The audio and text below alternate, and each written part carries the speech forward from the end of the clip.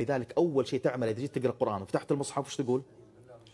فإذا قرأت القرآن فاستعذ بالله من الشيطان الرجيم. استعذ يعني التجئ لأن بمجرد ما تنوي ما بعد فتحت المصحف جاء الشيطان بكل جنوده. آه. ليحبسك ويمنعك ويصدك.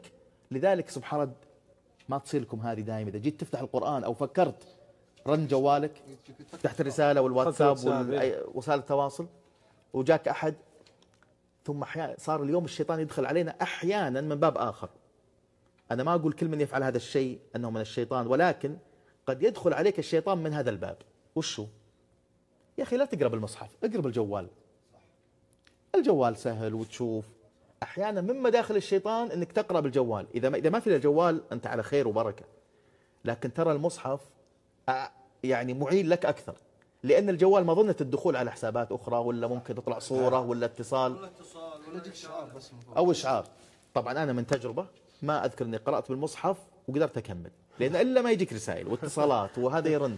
أو نفسك تدعوك إنك ليش نلتجئ إلى الله لله من شر الشيطان؟ لأنه يوسوس ويصدك ويضعفك. طيب في الحفظ يعرف اليوم اليوم عندنا فرصة بس تبذل لها شوية مجهود تحصل على كنز عظيم في قلبك وصدرك وروحك.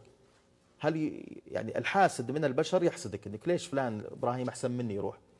ما بالك بالعدو اللدود اللي أقسم لأغوينهم أجمعين فبعزتك لأغوينهم أجمعين.